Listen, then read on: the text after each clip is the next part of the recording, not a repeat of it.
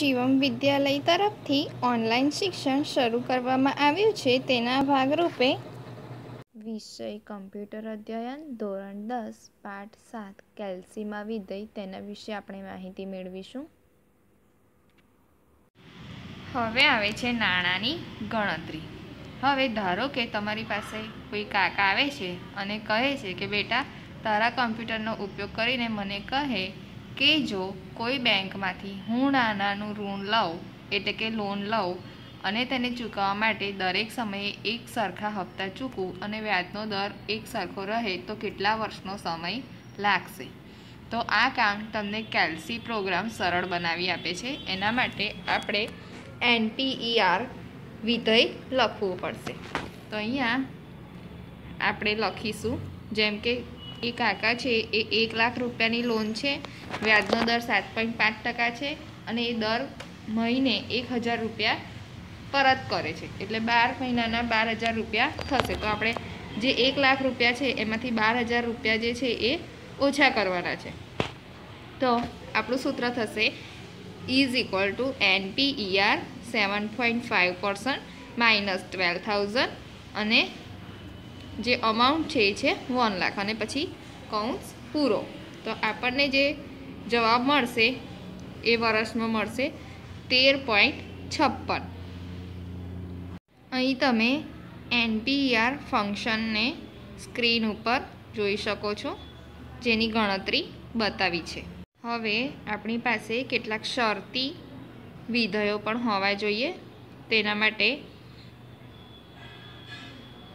આપણે પૂર્વ નિર્ધારિત શરતો જોઈએ, જેના આધારે આપણું વિધેય જે છે એ નિર્ણય લઈ શકે.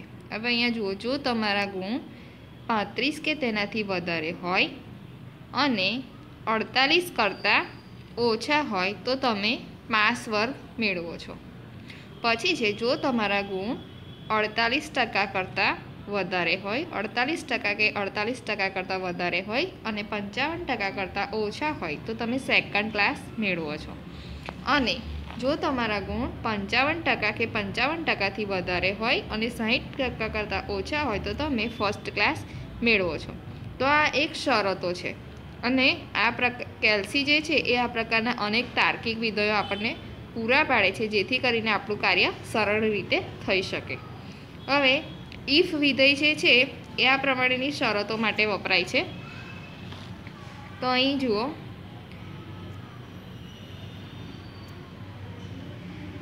Me and my friend score of a game એટલે તમે અને તમારા મિત્ર તમારા માર્ક્સ સ્કોર છે ગેમના તેર અને તમારા મિત્રના છે સત્તર. તો હવે બેમાંથી કોના વધારે છે એ જાણવા માટે આપણે ઇફ વિધેયનો ઉપયોગ કરીશું. તો ઇઝ ઇક્વલ ટુ ઇફ કૌંસમાં B two greater than C two જો તમારા માર્ક્સ વધારે હોય તો આઈ વિન અને તમારા ફ્રેન્ડના હોય તો માય ફ્રેન્ડ વિન્સ એ પ્રમાણે આપણે સૂત્ર પૂરું કરીશું. હવે અહીં કેટલાક સ્ટુડન્ટ્સના એક્ઝામના માર્ક્સ પર્સન્ટેજની અંદર આપ્યા છે. અહીં આપણે કયા વિદ્યાર્થીના માર્ક્સ ફર્સ્ટ ક્લાસ છે, કોના સેકન્ડ ક્લાસ છે, કોના થર્ડ ક્લાસ છે અને કોણ ફેલ છે એ આપણે ઇફ વિધેયનો ઉપયોગ કરીને સમજીશું. તો જુઓ, અહીં આપ્યું છે is equal to if A two greater than is equal to sixty first if a2 greater than is equal to 55 second, if a2 greater than is equal to 48 third, અને ફેલ તો પહેલું ઇફ વિધાન cell એ ટુની કિંમત ચકાસે છે કે જે વિદ્યાર્થીના કુલ ગુણના ટકા છે. જો સેલ એ ટુની કિંમત સાહીઠ બરાબર કે વધારે હશે, તો પદાવલીની કિંમત સાચી ગણાશે અને વિધેય પહેલી પદાવલીમાં જણાવેલી કિંમત પાછી આપશે, કે જે ફર્સ્ટ છે. જો વિદ્યાર્થીના સાહીઠ કરતાં ઓછા ટકા હશે, તો તે વિધેયની બીજી પદાવલીની કિંમત આપશે, જે અન્ય ઇફ વિધાન છે. અને આ રીતે તમે એક ઇફની અંદર અનેક ઇફનો સમાવેશ કરી શકો છો. આથી તેને નેસ્ટેડ ઇફ કહેવામાં આવે છે. અહીં આકૃતિમાં તમને બતાવ્યું છે જેમાં સ્ટુડન્ટ્સના નામ આપ્યા છે, તેમના પર્સન્ટેજ આપ્યા છે. અને અહીંયા ફોર્મ્યુલા લખી છે if B three is equal to sixty તો અહીંયા બી થ્રીની જે કિંમત છે, એ સેવન્ટી સેવન છે. એટલે આ જે પદાવલી છે, એ એની કિંમત સાચી છે. તો ફર્સ્ટ ત્યાર પછી છે if B three is equal to fifty five તો સેકન્ડ તો હવે બીજું આપણે ચેક કરીશું. તો તેની અંદર પણ શું છે? તો કે સિક્સટી નાઇન છે. સી થ્રીની કિંમત. તો એ પણ ફર્સ્ટ આવશે. ત્યાર પછી ડી થ્રી એની કિંમત છે ફિફ્ટી નાઇન તો એમાં આવશે સેકન્ડ ત્યાર પછી છે if B three greater than is equal to forty eight third અને પછી છે ફેલ તો ફોર્ટી નાઇન છે ને થર્ડ મળ્યા છે અને જેના ફોર્ટી એટ કરતાં ઓછા પર્સન્ટેજ છે જેમ કે ફોર્ટી ફોર અને થર્ટી તો એ બંનેને ફેલ દર્શાવ્યા છે. હવે આવા મોટા મોટા સૂત્રો લખવાના હોય, ત્યારે એમાં ભૂલ થવાની શક્યતા રહે છે. એના માટે આપણે ફંક્શન વિઝાર્ડનો ઉપયોગ કરી શકીએ છીએ. હવે ફંક્શન વિઝાર્ડ વાપરવાનો એક ફાયદો એ છે કે વિધેયનું સર્વથા ખરું નામ ટાઈપ કરવું પડતું નથી. અહીં જુઓ, તમને આકૃતિની અંદર ફંક્શન વિઝાર્ડનું બંધારણ બતાવ્યું છે. અને જો તેમાં કોઈ ભૂલ હોય, તો તે યાદીમાં લાલ બિંદુ સ્વરૂપે દર્શાવે છે, જેથી આપણે તેને સુધારી શકીએ. અહીં તમે સ્ક્રીન ઉપર જોઈ શકો છો. વિદ્યાર્થીઓના માર્ક્સ અને તેમના ક્લાસ દર્શાવ્યા છે. અને અહીં ફંક્શન જે વિઝાર્ડ છે, તેનું સ્ટ્રક્ચર દર્શાવ્યું છે. જેથી કરીને આપણા ફંક્શનની અંદર આપણે ભૂલ કરી શકીએ નહીં. હવેનો મુદ્દો છે સંબંધિત પ્રક્રિયકો. તો એમાં સૌથી પહેલું છે ઇક્વલ એનું ચિહ્ન છે બરાબરનું. તો બંને સંકાર્ય એટલે કે ઓપરેન્ટ્સ જેમ કે એ વન અને એ ટુ સરખા છે. ઉદાહરણ તરીકે if A one is equal to A two A one is equal to A two A one and A two not equal ત્યાર પછી છે લેસ ધેન એનું ચિહ્ન લેસ ધેનનું છે અને એનું વર્ણન છે પ્રથમ સંકાર્ય, બીજા સંકાર્ય કરતાં નાનો છે. ઉદાહરણ is equal to if A one less than A two A one is less than A two અને A one is not less than A two ત્યાર પછી છે ગ્રેટર ધેન એનું ચિહ્ન ગ્રેટર ધેનનું છે. અને પ્રથમ સંકાર્ય બીજા સંકાર્ય કરતાં મોટો છે. હવે એનું ઉદાહરણ છે is equal to if A one greater than A two A one is greater than A two અને A one is not greater than A two ત્યાર પછી છે less than or equal to એનું ચિહ્ન છે લેસ ધેન અને equal to તો પ્રથમ સંકાર્ય બીજા સંકાર્ય કરતાં નાનો અથવા બરાબર છે. તો એનું ઉદાહરણ છે is equal to if A one less than is equal to A two A one is less than or equal to A two અને A one is not less than or equal to A two ત્યાર પછી છે greater than or equal to એનું ચિહ્ન છે greater than or equal to પ્રથમ સંકાર્ય બીજા સંકાર્ય કરતાં મોટો અથવા બરાબર છે. અને એનું ઉદાહરણ છે is equal to if A one greater than is equal to A two A one is greater than or equal to A two A one is not greater than or equal to A two ત્યાર પછી છે different from તો બંને સંકાર્ય સરખા નથી. પ્રથમ સંકાર્ય, બીજા સંકાર્ય બરાબર નથી. અને એનું ઉદાહરણ છે is equal to if A one different from A two A one is different from A two A one is not different than A ત્યાર પછી છે તાર્કિક વિધયો. તો કેલ્સી અન્ય કેટલાક વિધયો પૂરા પાડે છે, જે તાર્કિક નિર્ણયો લેવામાં મદદરૂપ થાય છે.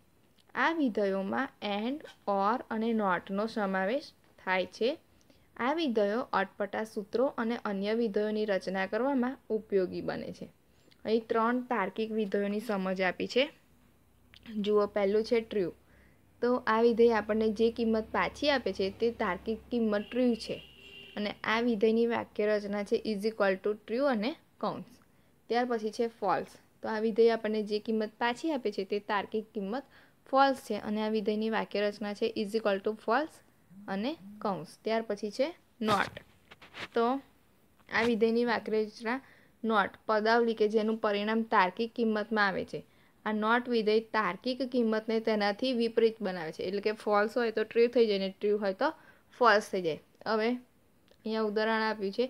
Is equal to not six different from six એટલે કે છ અને છ સરખા નથી. તો આ વાક્ય ખોટું છે. તો એની કિંમત આપણને ટ્રુ મળે છે. અને પછી આપ્યું છે is equal to not one is equal to one તો એની કિંમત ટ્રુ છે. તો એની કિંમત આ જે નોટ વિધેય છે આપણને ફોલ્સ આપે છે.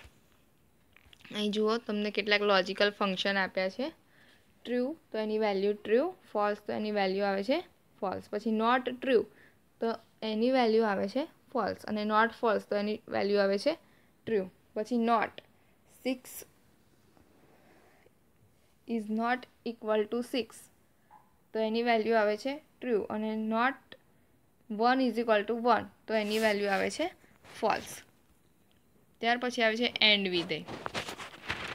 તો એન્ડ વિધેય એ શરતો કહે છે કે જો બધા પરિણામ ટ્રુ અથવા ફોલ્સમાં આવી શકે, પણ જો બધા પરિણામ ટ્રુ આવશે, તો જ એન્ડનું પરિણામ ટ્રુ આવશે. જો એક પણ પરિણામ ફોલ્સ આવ્યું, તો આ એન્ડ વિધેય આપણને ફોલ્સ વેલ્યુ પાછી આપશે. અહીં જુઓ ઉદાહરણમાં સ્ક્રીન આપ્યો છે તમને. Is equal to and A one is equal to A two તો એ વનની કિંમત છે બાર એ ટુની કિંમત પણ બાર છે. તો A one is equal to A two તો આ વિધાન સાચું થયું છે. ત્યાર પછી છે A two is equal to A three તો એ ટુની કિંમત છે બાર એ ટુની એ થ્રીની કિંમત છે છ. તો આ વિધાન સાચું નથી. તો એક જે શરત છે અહીંયા ખોટી પડે છે. તો આપણને એન્ડ વિધેય છે એ વેલ્યુ ફોલ્સ આપશે.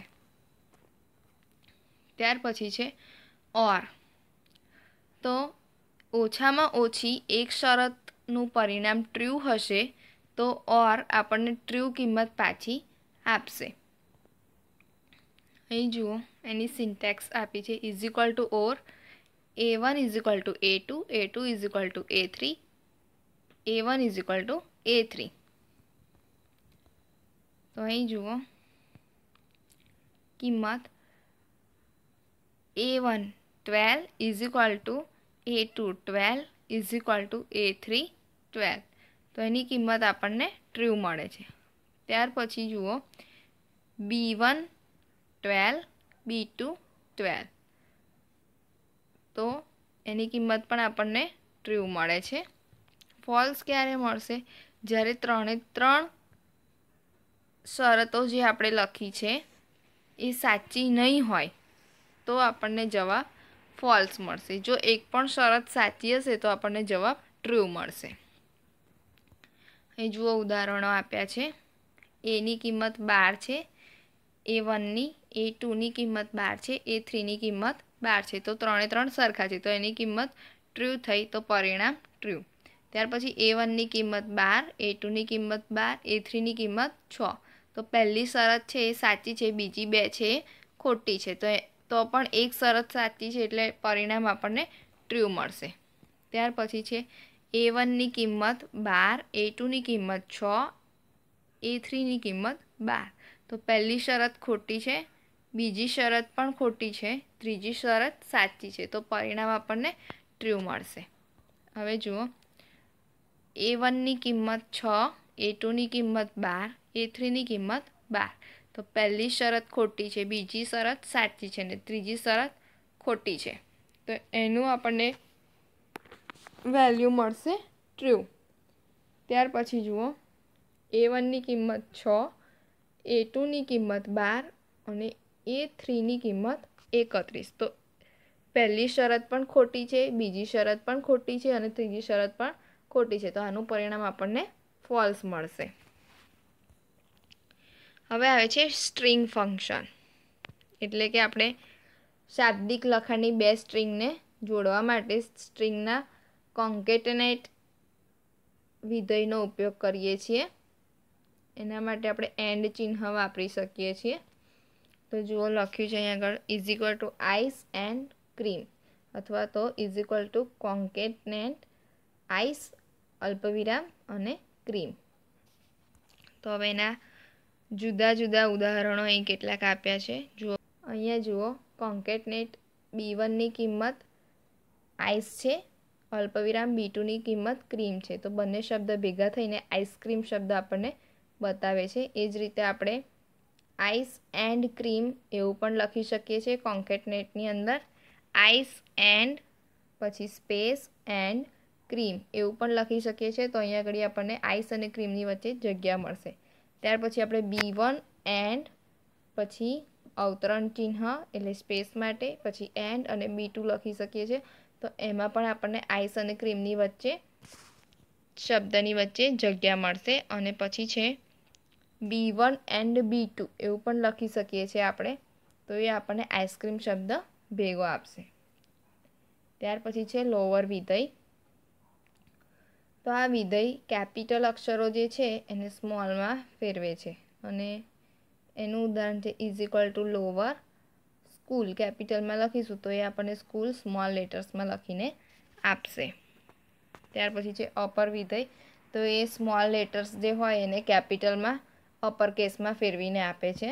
તો એની સિન્ટેક્સ છે ઇઝ ઇક્વલ ટુ અપર અને કૌંસ એમાં આપણે ટેક્સ્ટ લખવાની છે. એમાં આપણે સ્મોલમાં લખીશું સ્કૂલ, તો આપણને જવાબમાં કેપિટલ સ્કૂલ લખેલું મળશે. ત્યાર પછી છે પ્રોપર વિધેય. તો પહેલો અક્ષર મોટો રાખશે અને બાકીના અક્ષરોને નાના કરી દેશે. તો એની પણ સિન્ટેક્સ છે ઇઝ ઇક્વલ ટુ પ્રોપર અને કૌંસમાં ટેક્સ તો ટેક્સમાં લખ્યું છે, આઈ લવ માય સ્કૂલ. તો અહીંયા એસ સી જે છે એ સ્મોલ લેટર છે એચ કેપિટલ છે અને ડબલ ઓ એલ એ સ્મોલ છે. તો અહીંયા એસ જે છે એની કિંમત આપણને કેપિટલ કરીને આપશે અને બાકીના જે લેટર્સ છે એ આપણને સ્મોલ કરીને આપશે. ત્યાર પછી છે રોમન અરે અરેબિક અંક.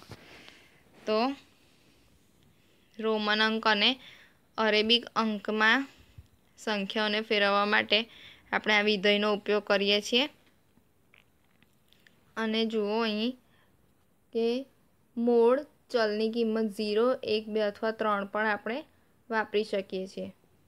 તો જુઓ is equal to Roman one twenty five એની કિંમત આપણને આપણે છે સી એક્સ એક્સ વી અને અહીંયા લખ્યું છે ઇઝ ઇક્વલ ટુ અરેબિક અને પછી આપણે ટેક્સ્ટ લખી છે.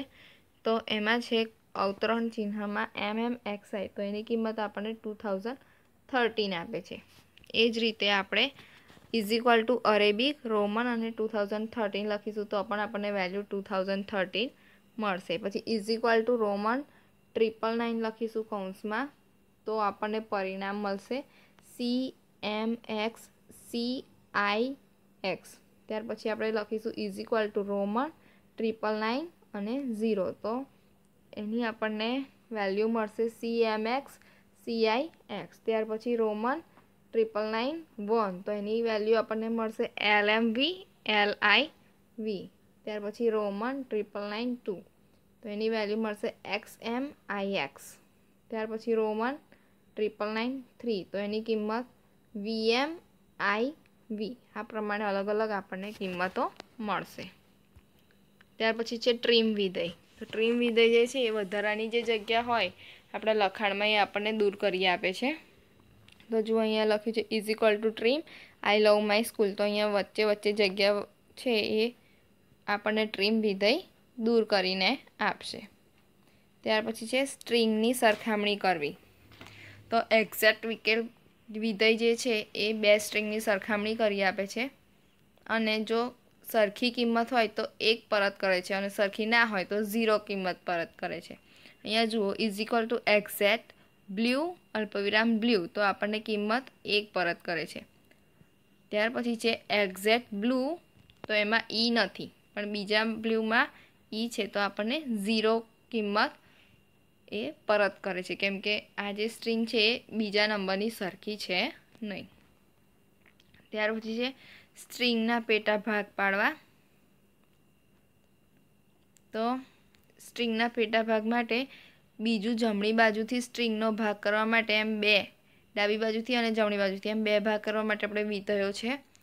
તો ડાબી બાજુથી કરવા માટે લેફ્ટ અને જમણી બાજુથી કરવા માટે આપણે રાઈટ વિધેયનો ઉપયોગ કરીશું. તો અહીં જુઓ, એક રા, નામ છે રામ દશરથભાઈ પટેલ. અને પછી લખ્યું છે ચાર. તો એ આપણને જવાબમાં રામ આપશે. ત્યાર પછી લખ્યું છે રામ દશરથભાઈ પટેલ અને પછી આપણે લખ્યું છે પાંચ રાઇટની અંદર. તો આપણને એ પાછળના જે પાંચ અક્ષર છે પટેલ, એ આપણને જવાબ તરીકે આપશે. અને કેલ્સી સ્ટ્રિંગ વચ્ચેથી લખાણ જુદું પાડવાની સગવડતા પણ આપે છે. અને આ વિધ્યાયની વાક્ય રચના છે is equal to mid text start અને એન તો અહીંયા આપણે લખીશું is equal to mid Ram, Dashrathbhai Patel, પાંચ અને તેર. તો એ આપણને દશરથભાઈ સ્ટ્રિંગ લખેલી પાછી આપે છે. ત્યાર પછી છે સ્ટ્રિંગની લંબાઈ. તો એ કેટલા અક્ષરનો સમાવેશ છે એ આપણને જણાવે છે. એટલે આપણે જો ઇઝ ઇક્વલ ટુ લેન અને ત્રણ લખીશું તો એ આપણને રામ રામ લખીશું તો આપણને એ ત્રણ જવાબ આપશે. ટેક્સ્ટ લખવાની છે એટલે. અહીં જુઓ, આ ઉદાહરણ આપ્યા છે. ટ્રીમનું આપ્યું છે. પછી એક્ઝેક્ટનું આપ્યું છે. એક્ઝેક્ટનું બીજું પણ આપ્યું છે. ત્યાર પછી છે લેફ્ટ તો ત્રણ લખ્યું છે. તો ત્રણ અક્ષરો રામ ડાબી બાજુથી બતાવે છે. ત્યાર પછી છે રાઈટ તો જે પાંચ અક્ષર લીધા છે, તો એ જમણી બાજુના પાંચ અક્ષર બતાવે છે, મીડ, તો વચ્ચેનો એક અક્ષર બતાવે છે, અને લેન્થ તો કેટલા અંદર અક્ષરો છે, એની સંખ્યા અગિયાર આપણને બતાવે છે. ત્યાર પછી છે ટાઈમ અને ડેટ વિધયો. તો કેલ્સી આપણને સમય અને તારીખની ગણતરી માટેના વિધયો પણ આપે છે, જેમાં નાનો સમયગાળો, જેમ કે કલાક, મિનિટ અને સેકન્ડમાં હોય, તો તમે ટાઈમ વિધેયનો ઉપયોગ કરી શકો છો. અને મોટા સમયગાળા માટે અઠવાડિયા મહિનાઓ અથવા તો વર્ષો માટે તમે ડેટ વિધેયનો ઉપયોગ કરી શકો છો. હવે આજની તારીખ માટે છે ઇઝ ઇક્વલ ટુ ટુડે અને કૌંસ તો એ આપણને આજની તારીખ બતાવશે. ત્યાર પછી છે ડેટ વિધેય. તો ઇઝ ઇક્વલ ટુ ડેટ અને ત્યાર પછી વર્ષ, તારીખ અને દિવસ. તો જે આજની તારીખ છે એ આપણને આપશે. પછી છે ડે વિધેય. તો આ ડે વિધેય છે એ કોઈપણ માન્ય સ્વરૂપમાં આપેલી તારીખને મહિનાના દિવસમાં ફેરવવા માટે વપરાય છે. એટલે એના સિન્ટેક્સ છે is equal to day today અને કૌંસ તો અહીંયા આપણે લખ્યું છે day date two thousand thirteen seven અને ઇલેવન તો વિધેયની વાક્યરચના ડે ડેટ છે. તો ડેટ વિધેય છે એ સૌ પ્રથમ આપેલી સંખ્યાને માન્ય તારીખના સ્વરૂપમાં ફેરવે છે અને પછી તારીખોમાંથી દિવસનો નંબર આપણને પાછો આપે છે. ત્યાર પછી છે વીક ડે વિધેય તો વીક ડે વિધેય આપણને સાચી તારીખને અઠવાડિયાના વાર, જેમ કે સોમવાર, મંગળવારમાં ફેરવે છે અને દિવસોને અનુક્રમ નંબર ઝીરોથી એટલે રવિવારથી શનિવાર, છ નંબર સુધી આપવામાં આવે છે. હવે જુઓ, અહીં ઉદાહરણમાં લખ્યું છે, તમે is to weekday date two thousand thirteen seven eleven લખો તો જવાબ મળશે પાંચ. હવે એની વાક્ય રચના છે is equal to weekday date અને એન તો ડેટ એ કોઈક માન્ય તારીખ છે અને એન જે છે એ સંખ્યા છે કે કયા દિવસથી અઠવાડિયું શરૂ થયું છે તે આપણે જાણી શકીએ છીએ. હવે જુઓ એન વન તો એ રવિવારથી શરૂ થાય છે. તો એ, એમાં દિવસ જીરો હશે અને એન ટુ તો અઠવાડિયું સોમવારથી શરૂ થાય છે અને દિવસ એક હશે. હવે જો તમે ચલ ન જણાવો તો તે કિંમત એક લેશે. એટલે કે ઉપરના ઉદાહરણમાં જણાવ્યા પ્રમાણે દિવસોને અનુક્રમ નંબર ઝીરોથી છ ગણશે.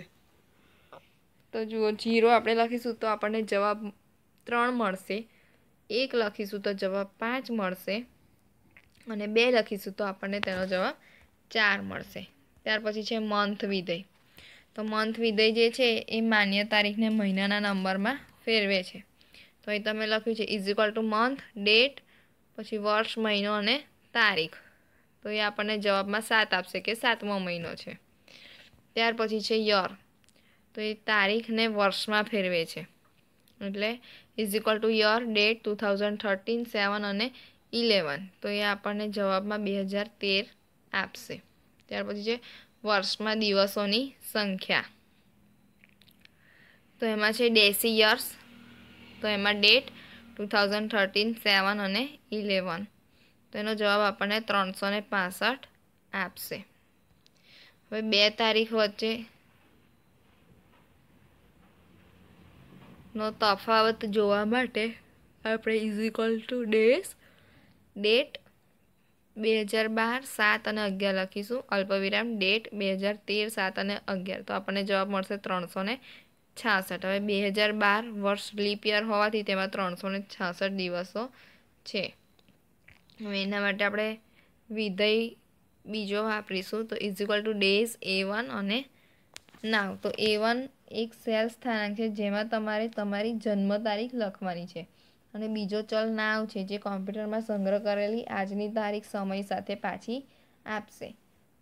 હવે વિધેય જે છે એ તમારી ઉંમર દિવસોમાં તમને જણાવશે. હવે નાવ વિધેય છે એમાં કોઈ ચલ આપણે વાપરતા નથી. અહીં તમારે બીજી તારીખમાંથી પહેલી તારીખ બાદ કરવામાં આવે છે. આથી ઘણા સમયે વિધેય ઋણ કિંમત પાછી આપે છે અને ઋણ કિંમત આપણને ના જોઈતી હોય તો આપણે એબીએસ વિધેયનો ઉપયોગ કરી શકીએ છીએ જે આપણે શરૂઆતમાં શીખ્યા હતા. અહીં જુઓ ફંક્શન અને તેની વેલ્યુઝ આપી છે ટુડે તો અહીંયા આ બે હજાર તેરમાં ચોપડી બની હશે એટલે ત્યારની ડેટ બતાવે છે. ત્યાર પછી date two thousand thirteen seven અને ઇલેવન તો July eleven two thousand thirteen પછી day date two thousand thirteen seven અને ઇલેવન તો એ જવાબ આપણને આપે છે અગિયાર. Weekday two thousand thirteen seven અને ઇલેવન તો જવાબ આપે છે પાંચ. પછી આપણે કિંમત લીધી છે ઝીરો, તો જવાબ આપે છે ત્રણ. ફરી કિંમત લીધી છે એક, તો જવાબ આપે છે પાંચ. પછી કિંમત લીધી છે બે, તો એનો જવાબ છે ચાર. પછી મંથ છે, તો એ આપણને સાત જવાબ આપે છે. યર છે, તો two thousand thirteen days in year તો એમાં જવાબ ત્રણસો ને પાસઠ. અને ડેઝ છે ડેઝ અને ડેટનો તફાવત જે છે આપણને બે વર્ષનો એ ત્રણસો ને છાસઠ આપે છે. પછી વીક્સ છે, એનો જવાબ આપે છે ફિફ્ટી ટુ ત્યાર પછી છે યર્સ, તો એનો જવાબ આપે છે બે. કેમ કે આપણે બે હજાર અગિયારનું વર્ષ અને બે હજાર તેર બે વર્ષનો તફાવત છે. ત્યાર પછી છે આપેલી બે તારીખો વચ્ચે અઠવાડિયાની સંખ્યા. તો ડે અને ડેઝ નામના બે વિધયો. એ જ રીતે વીક્સ બે તારીખો વચ્ચે અઠવાડિયાની સંખ્યાની ગણતરી કરે છે. તો જુઓ is equal to weeks date two thousand eleven seven અને ઇલેવન અને date two thousand twelve seven અને ઇલેવન કિંમત આપણે ઝીરો લીધી છે. તો અહીં જવાબ આપણને બાવન મળશે. ત્યાર પછી આપેલી બે તારીખો વચ્ચેની વર્ષની સંખ્યા. તો અહીંયા જો is to years date two thousand eleven seven અને ઇલેવન અને date two thousand thirteen seven અને ઇલેવન બે હજાર અગિયારથી બે હજાર તેર, તો બે વર્ષનો સમયગાળો છે. તો આપણને જવાબ બે મળશે. હવે જુઓ અન્ય સ્પ્રેડશીટ પેકેજમાં ઉપલબ્ધ વિધયો. તો ઘણા ખરા સ્પ્રેડશીટ પેકેજ આ જ પ્રકારના વિધેય પૂરા પાડે છે. જો તમે માઇક્રોસોફ્ટ એક્સેલનું ઉદાહરણ લેશો, તો તમને જણાવશે કે તે પણ આ પ્રકરણમાં ચર્ચા કરી તેમના મોટાભાગના વિધેય પૂરા પાડે છે. ક્યારેક તમારે તેની વાક્ય રચના એટલે કે સિન્ટેક્સમાં ગૌણ પરિવર્તન કરવા પડે છે. જેમ કે તેના સ્પેલિંગમાં કોઈ નાનો ફેરફાર અથવા વિધેયના ચલ વચ્ચે અર્ધવિરામ કે અલ્પવિરામનો ઉપયોગ.